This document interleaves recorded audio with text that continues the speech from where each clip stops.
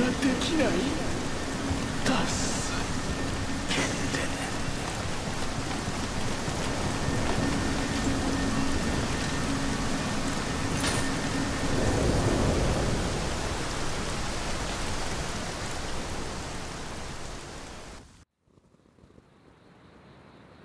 ナイフ家康殿は西国の調略を進めておる。毛利では異国の者まで連れておったぞ。東国の守備はどうじゃ大谷行部殿。信州真田はこちらにつきましょう。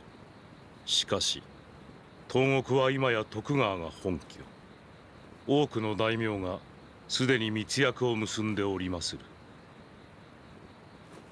三成殿も人気がないのいやはや全く。いかにすればここまで嫌われることができましょう。ならば物のわからぬ大名どもに今一度義を解こう。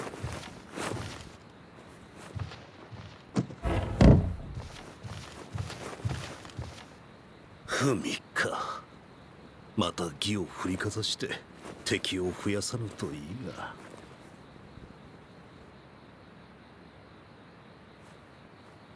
家康殿には正攻法では勝てぬ。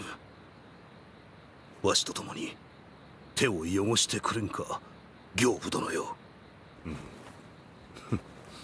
ん、もはやろくに目も見えず下法で生きておるに。今さら聖堂を歩もうと神仏の救いは受けられますまい。この者が太宰府に秘匿された五国の霊石を見つけこたびの戦で役立ててはと申しておりまする。わしらも異国の者に頼ると申すか。